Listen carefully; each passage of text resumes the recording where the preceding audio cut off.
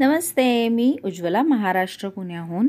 आत्ता अगदी पंधरा दिवसांपूर्वी मी कडीपत्त्याचा एक व्हिडिओ टाकला होता की फुलपाखरांच्या आळ्यांनी माझ्या कढीपत्त्याच्या रोपाचा ताबा घेतलेला आहे आणि इथं पाहताय तुम्ही त्याचे कोश तयार झालेले होते आणि यापासून लवकरच फुलपाखरू तयार होणार आहे. सध्या खूप सारे मेसेज येत आहेत की आमच्या रोपांवरती सुद्धा अशा हिरवट काळपट आळ्या दिसत आहेत तर त्यासाठी काय उपचार करावा? तर पहा हा निसर्ग आहे आणि प्रत्येकाला जगण्याचा अधिकार असतो. या आळ्या ज्या आहेत त्या फुलपाखरांच्या आहेत. जर आपण या आळ्यांना मारून टाकत राहिलो काढत राहिलो तर फुलपाखरांच्या काही जाती नामशेषसुद्धा होऊ शकतात. तर तुमच्याकडे जर अशा आळ्या येत असतील तर घाबरून जाऊ नका. आपल्या रोपाला पुन्हा फूट येणार आहे. या ज्या काही आळ्या आहेत अगदी आठ दहा दिवसांचा हा त्रास असतो. भले संपूर्ण रोप जरी आपलं त्यांनी खाऊन टाकलं तरीसुद्धा पुन्हा आपल्या रोपाला पालवी फुटणार असते. मी तुम्हाला माझं कडीपत्त्याचं कट केलेलं रोपसुद्धा दाखवणार आहे आणि अवघ्या आठ दिवसांमध्ये त्याला आलेली नवीन फूटसुद्धा दाखवणार आहे. याशिवाय ज्या काही आळ्या आहेत काळ्या रंगाच्या रंगाच्या हिरव्या रंगाच्या या रंगांच्या आळ्यांचे इथं मी काही फोटोसुद्धा दाखवणार आहे जे मला मिळालेले आहेत अवेलेबल झालेले आहेत ते.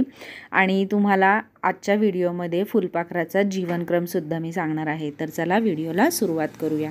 फुलपाखरांचं आयुष्य हे चौदा दिवसांचं असतं. फुलपाखराच्या वाढीच्या अंडी आळी कोश आणि फुलपाखरू अशा अवस्था असतात. विशिष्ट जातीची फुलपाखरं ही विशिष्ट जातीच्या झाडांवरच अंडी देतात.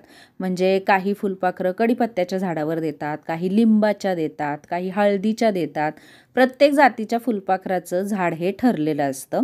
फुलपाखराची मादी ही मिलनानंतर लगेचच तिला हवं असलेलं झाड शोधते आणि त्याच्यावरती अंडी घालते. काही फुलपाखरं ही एकावेळी एक अंडं घालतात तर काही समूहाने अंडी घालतात.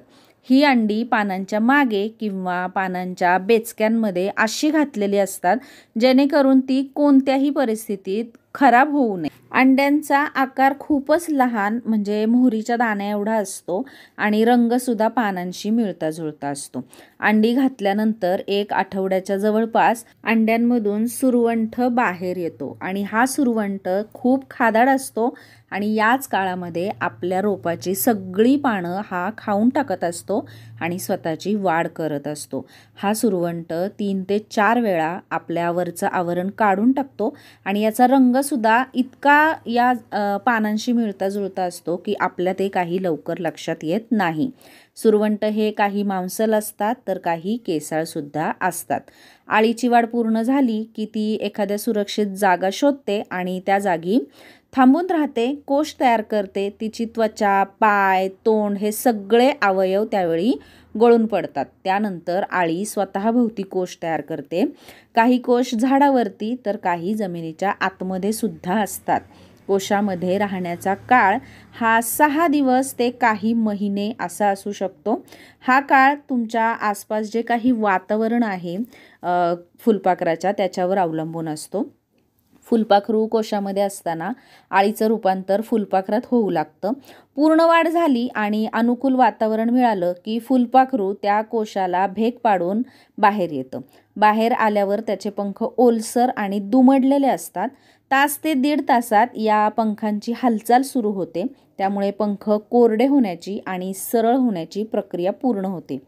त्यानंतर पूर्ण वाढ झालेलं फुलपाखरू उडताना आपल्याला दिसतं. वेगवेगळ्या रंगांची फुलपाखरं असतात. तर जर तुमच्याकडे अशा आळ्या आल्या असतील तर अजिबात घाबरून जाऊ नका. कोणताही उपचार करू नका. निसर्गक्रम पहा या आळ्यांना एन्जॉय करा त्यापासून बनणारं फुलपाखरू पहा. तुम्ही पाहिलं असेल काळ्या रंगाचं फुलपाखरू माझ्या बागेमध्ये उडत होतं. कॅमेऱ्यामध्ये अजिबातसुद्धा ते व्यवस्थित आलेलं नाही आहे कारण बाहेरून उजेड होता. पण मला ते फुलपाखरू दिसलं मला याचा इतका आनंद आहे. इथून मागे मी सुद्धा अशी फुलपाखराच्या आळ्या काढून टाकत होते.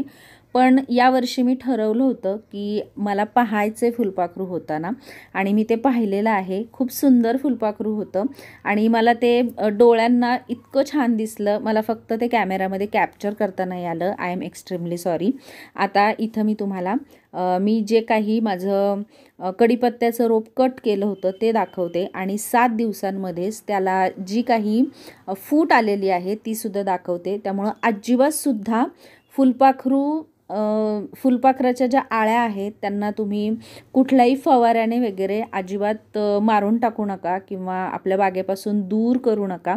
कारण हा निसर्गक्रम पाहण्यासारखा आनंद दुसरा कुठलाही नाही आहे. व्हिडिओ जर आवडला असेल तर लाईक नक्की करा आणि चॅनलला सबस्क्राईब करा. नमस्ते.